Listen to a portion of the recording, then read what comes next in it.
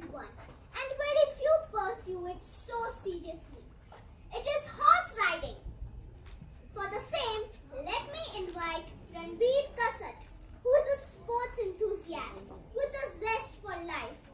Whether he's on the cricket field, dominating the squash court, or gracefully riding horses, he embodies the spirit of being an athlete and adventure. He's a happy-go-lucky child who loves to enjoy life.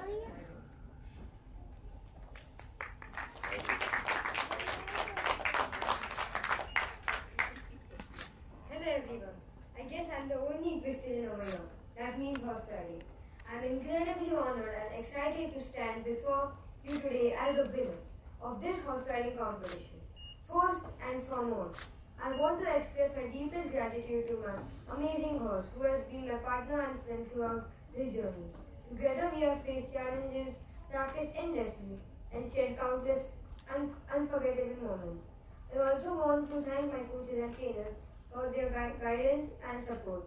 Without their expertise and encouragement, none of this would be, have been possible.